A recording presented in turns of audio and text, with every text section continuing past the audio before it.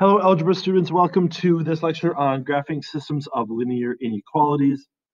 Uh, this should be a very familiar phrase because we just studied something very similar.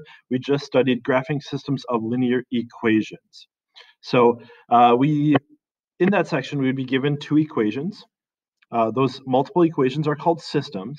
So it'd be something like this, 2x plus 3y equals 18 and then maybe something like y equals 4x minus 3. I don't know, something like this. We would call this a system of linear equations. And we spent a long time uh, solving these things. We actually learned three different ways to solve these equations. We talked about solving that system using uh, graphing, where you would graph the two lines and look for their intersection point. And we also called talked about substitution and elimination.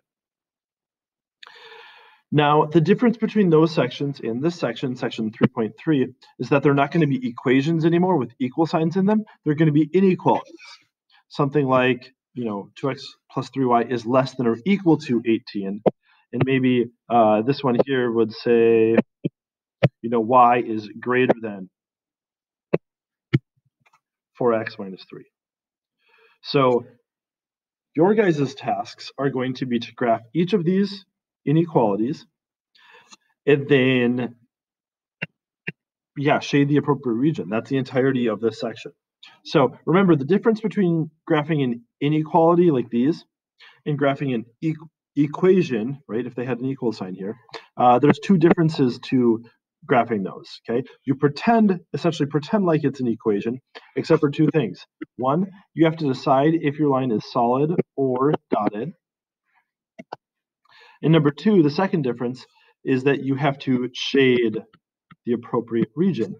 What you're trying to do is you're trying to shade all of the points that satisfy both of the two different inequalities. So steps, pretty straightforward. Graph this guy. Pretend it's an equal sign. Graph it. Decide if it's a solid or dotted line. Of course, this one would be a solid line. It's solid because it's got the or equal to part. So if it was a less than or equal to or a greater than or equal to, it would be a solid line. And this one here would be dotted, right? Because if it's a greater than or a less than, then it would be a dotted line. Then you would graph this one. Um, and then at the end, you're going to shade the region that makes both inequalities true. Essentially, you're going to have a line and another line, right? Uh, and one of these four regions should make both inequalities true. And you have to find that region, and that can be sometimes challenging. We'll go over some some uh, tips on how to do that effectively. So here's the steps, like we just said, graph each inequality and shade the region that makes both or all of the inequalities true. All right, our first example.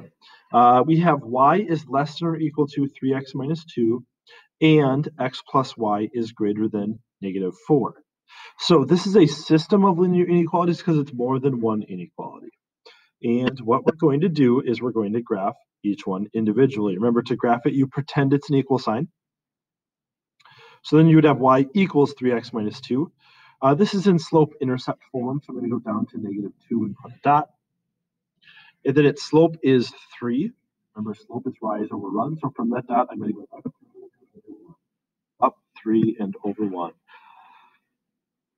This is a less than or equal to, so it's going to be a solid line, not a dotted line. And in order to connect them, get that line right there. Up next, I'm going to graph this one. Uh, there's a couple different ways that you could graph this, one of which would be to solve for y. So you'd subtract x and then graph it using the same idea of slope-intercept form. Uh, when my equations are in standard form like this, I like to make the little t-table with zeros in the corners. Uh, should be pretty easy to find these other points. If you plug in zero for x, this just goes away and you have y. Remember, we're pretending it's equal sign there. So y is equal to negative 4. And if you plug in 0 for y, this one goes away, and that would also be negative 4. So 0, negative 4 is here, and negative 4, 0 is here. This one is going to be a dotted line because it doesn't have the or equal to part. And you're just going to connect those.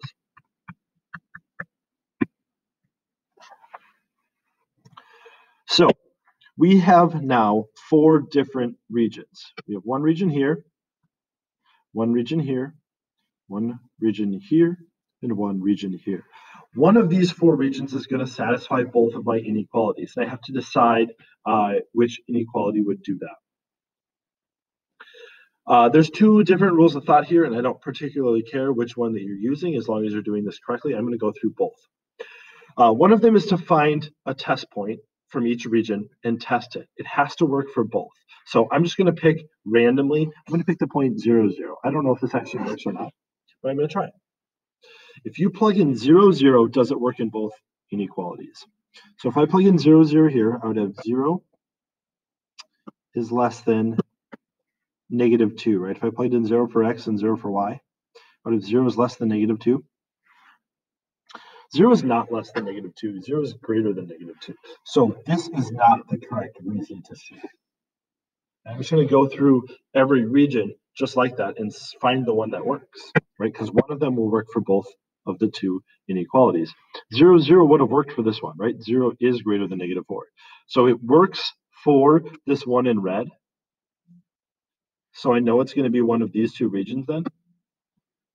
But I can just keep going down the list um, and test a different point, right? Uh, I tested one point from this region. I'm going to test a point from this region. I'm going to test 5, 0. If I plug in 5 for x and 0 for y, I would have 0 is less than or equal to, plugging in 5 here would give me 15 minus 2 is 13.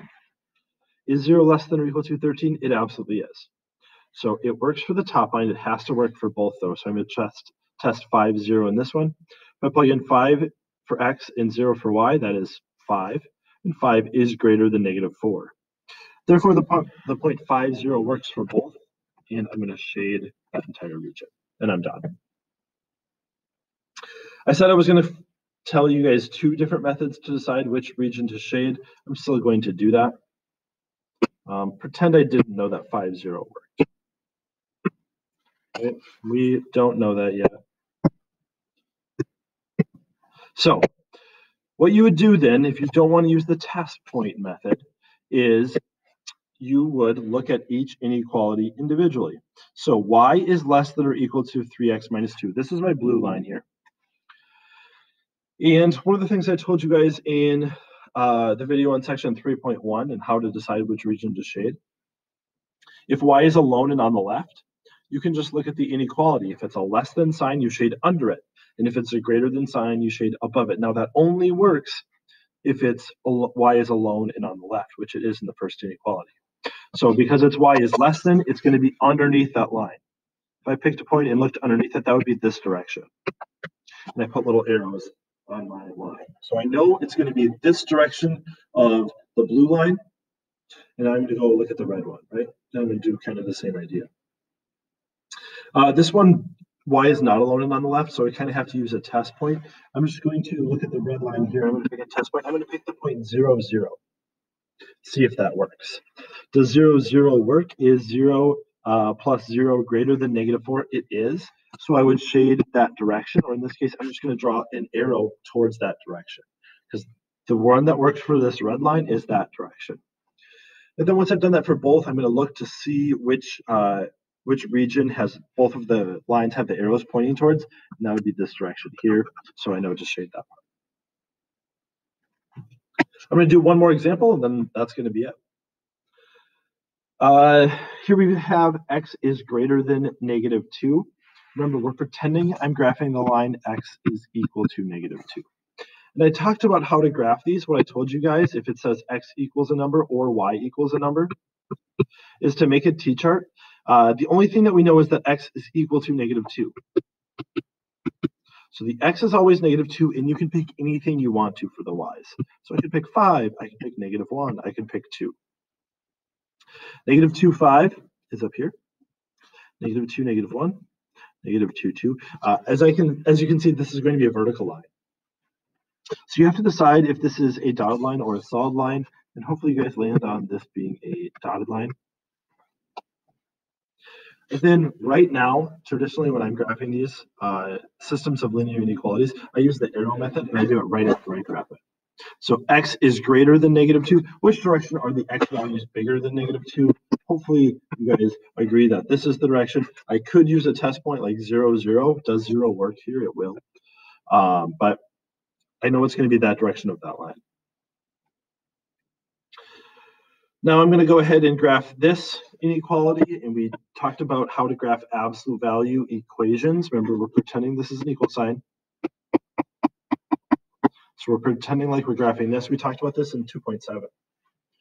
So this x plus 2, that is a horizontal shift. If you recall, the ones inside the absolute values are your horizontal shifts, and horizontal shifts happen the opposite way that you think they will. So if it says plus 2, I would think it would shift to the right 2, but it actually shifts to the left 2. And there is no vertical shift here. The vertical shift would happen after the absolute value signs. So this is just going to be shifted over 2, and it's going to start right there. Now,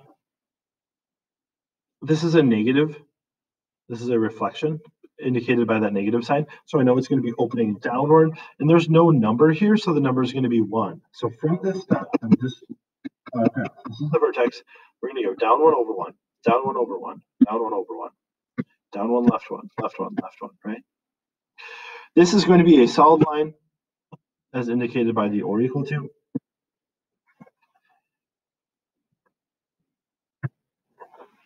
And now I have to shade one part.